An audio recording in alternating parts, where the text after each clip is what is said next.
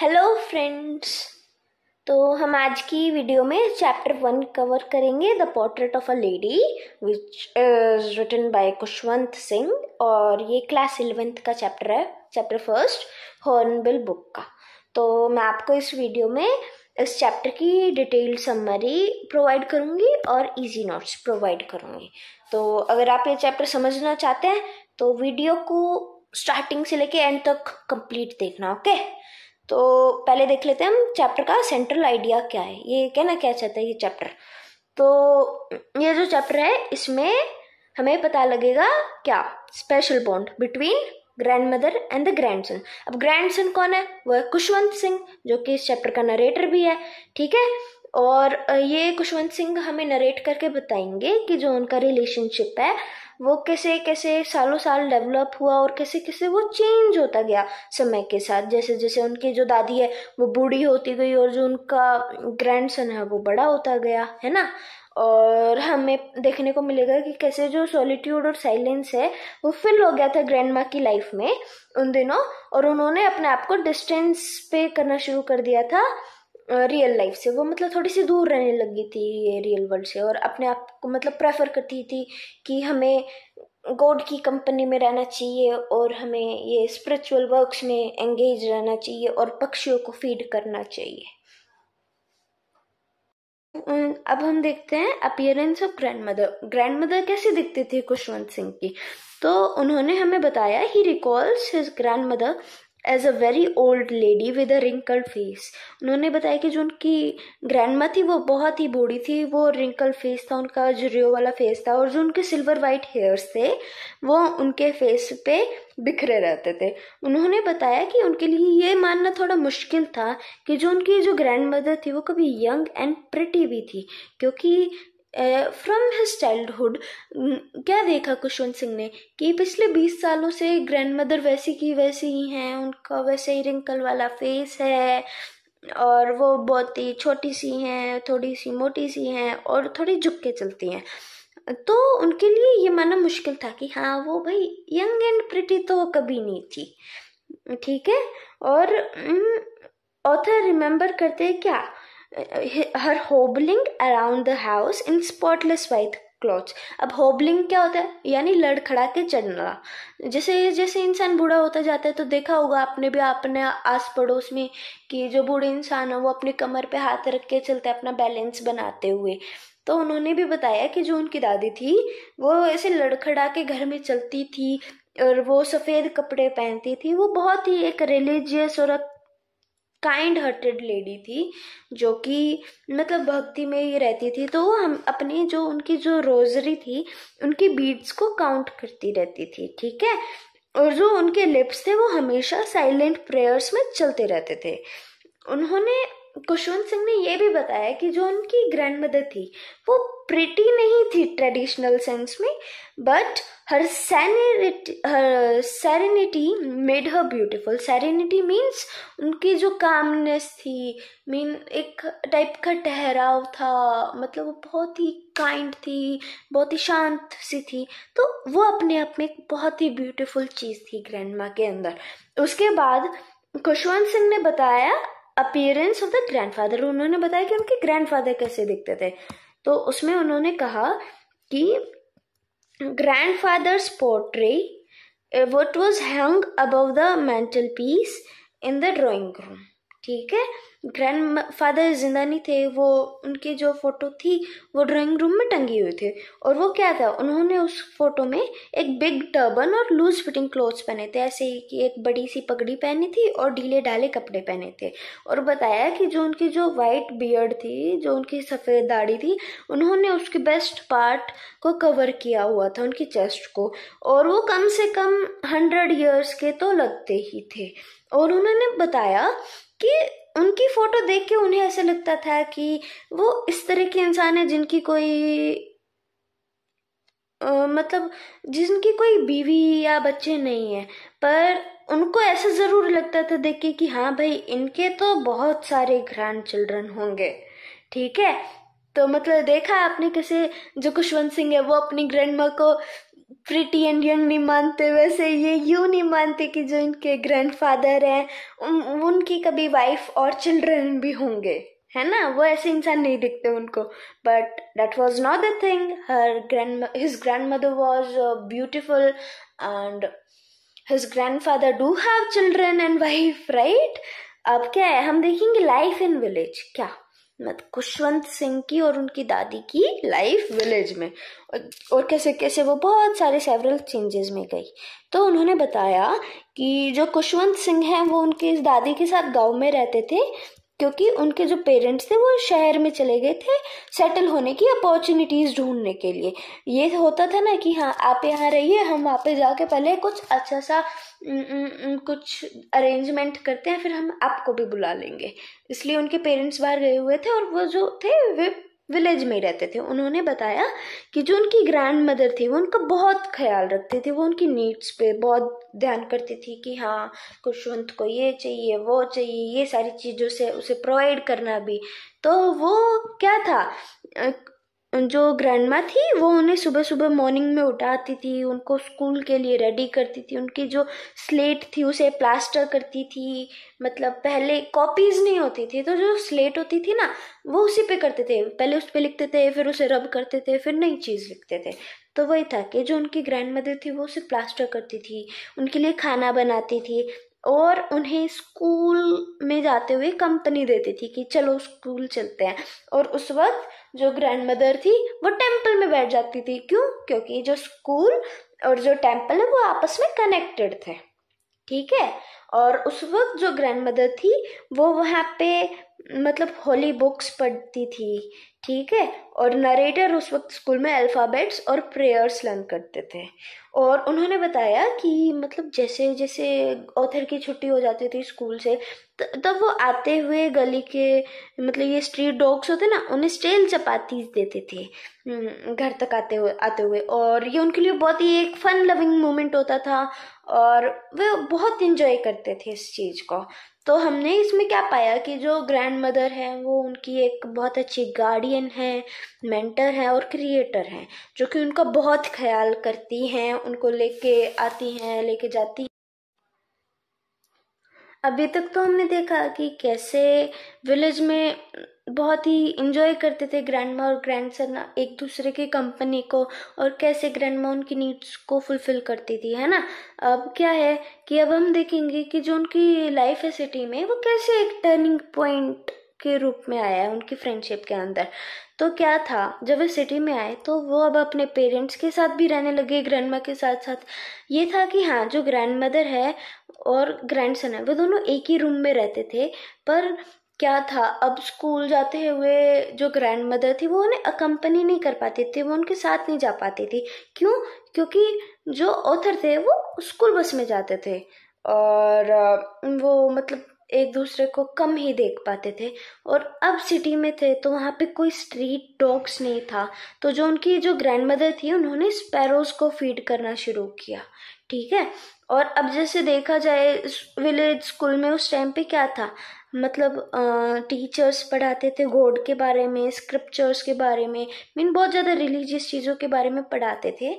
और अब ये जो न्यू स्कूल है, उसमें वो उन्हें आर्कमेडीज के बारे में पढ़ाते हैं साइंस पढ़ाते हैं इंग्लिश पढ़ाते हैं। अब ग्रैंड मदर इन चीज़ों के साथ बहुत अपसेट थी कि भाई हाँ ये क्या पढ़ा रहे हैं बच्चों को? ये सारी चीज़ें थोड़ी ना पढ़ाते हैं। अच्छी चीज़ें पढ़ाओ, उनके लिए मानना ऐसा था। और उन, वो ना खुश इसलिए भी थी थोड़ा, क्योंकि वो उनको हेल्प नहीं कर पाती थी उनके लेसन्स करवाने में। जैसे उस स्कूल में क्या था, वो रिलीजियस चीज़ें पढ़ाते थे तो दादी को पता होता था तो वो पढ़ा देती थी। पर अब नए स्कूल में इंग्लिश तो वो नहीं पढ़ा पाती थी, उन्हें मुश्किल आती थी, नहीं आता था उन्हें। और वो सबसे ज़्यादा डिस्टर्ब भाई, जब हो गई, जब उन्हें पता लगा कि जो, ये म्यूज़िक लेसन्स है, उनको म्यूज़िक लेसन्स दिए जाएँगे स्कूल में। और भाई, उनके लिए तो बहुत बड़ी ऐसे अंदर से टेंशन का माहौल हो गया कि भाई ये क्या पढ़ा रहे हैं? जेंटल फोल्क्स के लिए ये चीज़ नहीं बनी। जो म्यूज़िक है, ये तो बैगर्स और लो स्टैंडर्ड के पीपल करते हैं। ये इन्हें क्यों पढ़ा रहे हैं? तो वो बहुत ही ज़्यादा ना खुश थी और उनका जो साइलेंस था, वो कंप्लीट इस डिसअप्रूवल को अलग से शो भी कर रहा था। तो ये था टर्निंग पॉइंट जब वो स्कूल में जाते थे, उसके बाद जो टर्निंग पॉइंट आया, जब वो यूनिवर्सिटी में जाने लग तो उसमें क्या था कि जब उनका स्कूल फिनिश हो गया तो खुशवंत सिंह यूनिवर्सिटी में जाने लगे। उसके बाद पहले हमने क्या देखा कि जो ग्रैंड मदर और ग्रैंड सन थे, ये दोनों एक ही रूम में रहते थे, हैं? और अब इनसे ये एक कॉमन लिंक भी छीन लिया गया, इनके रूम सेपरेट कर दिए गए। अब ये अलग अलग कमरे में रहते थे तो इनके लिए ये फ्रेंडशिप भी थोड़ा सा गैप आ गया कि ना they are not in one room है ना? तो वो बिल्कुल अब ऐसे उन्होंने कन्फर्म कर लिया अपना सेल्फ इम्पोज सेक्यूलिज्म ये सेक्लूजन और उन्होंने अपना ज़्यादा से ज़्यादा टाइम ये प्रेयर रिसाइट करने में लगा दिया। वो भक्ति सागर में बहुत ज़्यादा बिज़ी होने लग गई और वो अपने स्पिनिंग व्हील के साथ टाइम स्पेंड करती थी। तो स्पिनिंग व्हील क्या होता है? चरखा। वो अपने चरखे पे ही लगी रहती थी, उसी पे काम करती थी। और कैसे, क्या था कि उनके लिए बस रिक्रिएशन सबसे हैप्पी मोमेंट आफ्टरनून में कब होती थी? जब वो क्या करती थी? वो रिलैक्स करती थी स्पैरोज को फ़ीड करते हुए। वो स्पैरोज को खाना देती थी क्योंकि वहाँ पे तो कुत्ते हैं नहीं है ना? तो अब वो बर्ड्स के साथ बहुत ज़्यादा फ्रेंडली होती थी उनको बहुत ये ब, ये क्या कहते हैं ब्रेड ब्रेड क्रम्स देती थी डालती थी उन्हें कि खाओ ब्रेड खाओ है ना? तो उनके लिए ये बहुत ज़्यादा हैप्पी मोमेंट होता था और वो बहुत इन्जॉय करती थी। इस वक्त क्या था, कोई स्पैरो आके उनके पैर पे बैठ जाती, कोई सिर पे बैठ जाती, कोई कंधे पे बैठ जाती और वो उन्हें ऐसे हटाती नहीं थी, जो कि दिखाता है कि वो एक बहुत ही काइंड लेडी थी, है ना? देखो, जैसे इस फ़ोटो में भी ग्रैंड माँ के सिर पर बैठी हुई है तो ये कुछ नहीं कर रही है अभी भी डाल रही है और बर्ड्स इंजॉय कर रहे हैं अपने मज़े से, है ना? तो अब इसमें क्या था कि this was the phase when she found herself totally isolated and aloof, but she was braved and uh, she enjoys her time in being busy in the religious things and feeding the birds, right? और उससे भी ज़्यादा turning point कब आया जब जो author थे उन्होंने डिसाइड किया कि भाई अब तो मुझे एब्रॉड जाना है पढ़ने है ना? खुशवंत सिंह ने डिसाइड किया कि अब हम हुए परदेशी, हम चले एब्रॉड तो इसमें क्या था कि ग्रैंड मदर वो अपसेट तो थी भाई। कोई भी होगा कि हाँ भाई, अब मेरा पोता मुझे छोड़ के दूसरे देश जा रहा है। पर वो ये था कि वो बहुत ही एक स्ट्रॉन्ग और एक बोल्ड वुमेन थी। उन्होंने ऐसे अपने इमोशंस को शो नहीं किया और वो उन्हें टाटा बाय बाय करने रेलवे स्टेशन पे भी आई। पर वो उस वक्त भी प्रेयर्स में इतनी बिज़ी थी कि वो अपनी जो उनकी रोजरी थी, वो होती है ना, वो माला जपते रहते इंसान कि ओम नमः शिवाय ऐसे ऐसे करके। तो वो उन चीज़ में बहुत ज़्यादा बिज़ी थी उस वक्त भी। तो उस वक्त टाटा बाय बाय करते करते हुए जो ग्रैंड माँ थी उन्होंने ए, किस किया ऑथर के फोरहेड पे जो कि ऑथर ने माना कि ये उनका लास्ट साइन होगा फ़िज़िकल कांटेक्ट का क्योंकि ग्रैंड माँ तो बहुत बूढ़ी हो चुकी थी। उन्हें लगा कि अब जब तक तो माऊँगा जब तक तो ग्रैंड माँ जा चुकी होंगी है ना? पर नहीं था। ऑथर आ गए वापस कहा अपने घर पे? तो इसमें क्या था? When he come back after five years तो उन्होंने पाया कि जो उनकी ग्रैंड माँ थी, वो अभी भी ज़िंदा है और वो बहुत ज़्यादा रिलीजियस हो चुकी है, और ज़्यादा रिलीजियस हो चुकी है और और ज़्यादा सेल्फ कंटेंड हो चुकी है। और अब वो अपना और भी ज़्यादा टाइम ऐसे ये प्रेयर्स में बिज़ी करती है और स्पिनिंग व्हील पे ही बिज़ी करती है और वो उनके लिए अभी भी हैप्पीएस्ट मोमेंट वही है दिन का। क्या? फीडिंग द स्पैरोज तो अभी भी वो उनके लिए सबसे इंजॉयबल मोमेंट वही है कि हाँ आफ्टरनून में बर्ड्स को ये ब्रेड क्रम्स खिलाना और उनके साथ इंजॉय करना, है ना? तो उस दिन लेकिन कुछ अलग हुआ। वो क्या हुआ? चलो देखते हैं। तो क्या था? That evening that was the first time ever she did not pray अभी तक तो हमने देखा कि भाई हाँ वो कितनी ज़्यादा भक्ति करती हैं और अब वो उस इवनिंग प्रे नहीं करिए चलो भी जानते क्यों? तो उन्होंने उस दिन क्या किया? उन्होंने बहुत सारी औरतों को बुलाया नेबर्स की को, और वो सिंग करने लग गई। क्या? होम कमिंग ऑफ़ वॉरियर्स तो देखा होगा ना, जैसे कोई इवेंट होता है तो बहुत सारी औरतें आ जाती हैं वो घर पे आके गीत वगैरह गाती है और इन्जॉय करती है मोमेंट को। तो जो ग्रैंड मदर थी, वो उनके ग्रैंड सन के आने पे बहुत खुश थी कि हाँ भाई, मेरा मेरा ग्रैंड सन आया है दूसरे देश से पढ़ के। और अब ये हमारे पास रहेगा। तो वो बहुत खुश थी कि चलो भाई होम कमिंग ऑफ़ वॉरियर्स गाते इस मोमेंट पे। तो वो बहुत गा रही थी अपनी इंजॉय कर रही थी। और वो इतना बिज़ी थी इस चीज़ में वो ड्रम को पीटे जा रही थी पीटे जा रही थी कि आ आ, आ गया आ गया है ना? तो जो उनके परिवार वाले उन्हें उसे रोकना पड़ा। क्यों? कहीं उन्हें ओवर स्ट्रेनिंग ना हो जाए ओवर स्ट्रेनिंग यानी थकावट ना हो जाए ज़्यादा और वो अगले दिन बीमार ना हो जाए। पर क्या हुआ? अब उन्होंने इतनी ज़्यादा एक्साइटमेंट में इतना ज़्यादा इंजॉय कर लिया कि वो अगले दिन बीमार हो गई। अब अब हम देखेंगे कि जो ग्रैंड मदर है, हमें ये तो पता लग गया कि हाँ भाई, वो बीमार हो गई हैं। क्यों बीमार हुई हैं? बहुत ज़्यादा ढोल बजाने की वजह से, बहुत ज़्यादा भक्ति में बिज़ी होने की वजह से मतलब भक्ति में नहीं मतलब यही था ना कि ये ग्रैंड सन आया था तो उसकी खुशी में बहुत ज़्यादा इंजॉय किया उन्होंने इस चीज़ में।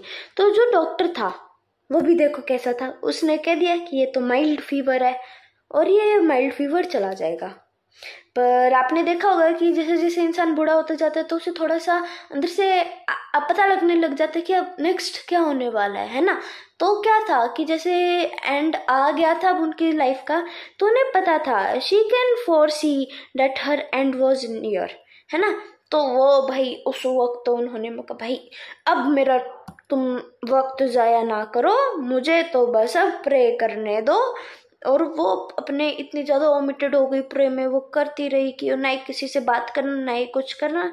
और वो अपने बेड पे आराम से लेट के अपनी रोजरी की बीट्स को काउंट करती रही कि, है ना? और फिर क्या था? उससे पहले उनके घर के सस्पेक्ट करें। उनकी लाइफलेस फिंगर्स से वो रोजरी गिर चुकी थी और ग्रैंड माँ की साँसें थम चुकी थी। यहाँ पे ग्रैंड मदर का एंड हो गया। अब हम देखते हैं a silent tribute by the sparrows तो क्या था? तो जो ग्रैंड मदर है वो उनका तो एक बहुत ही यूनिक बॉन्ड था स्पैरोज के साथ, है ना? वो रोज उनका आफ्टरनून में ब्रेड खिलाती थी, है ना? और वो उनके लिए एक बहुत सबसे ज़्यादा हैप्पीस्ट मोमेंट होता था। तो उस दिन भी क्या हुआ? उस दिन ग्रैंड मदर जिस दिन उनकी डेथ हुई, उस दिन thousands of sparrows they sat around the dead body of grand mother वो आई और ग्रैंड मदर की बॉडी के साइड में शांति से बैठ गई एकदम साइलेंस से। और इस चीज़ को देख के मतलब खुशवंत सिंह की मदर ने देखा कि भाई बर्ड आ रखी एक काम करती हूँ, उन्हें ब्रेड डाल देती हूँ। तो उन्होंने ब्रेड डाल दी but they took no notice उन्होंने तो ध्यान ही नहीं किया कि यार क्या है ये ब्रेड हमें ब्रेड तो चाहिए ही नहीं। और वो अपने दादी के पास ऐसे बैठ गई, बट सारी आराम से, बिल्कुल शांति से। और और जब ग्रैंड मदर को फाइनल राइट्स के लिए कैरी किया गया, उनके फ्यूनरल के लिए तो वो सारी चिड़िया एकदम साइलेंटली उड़ गई।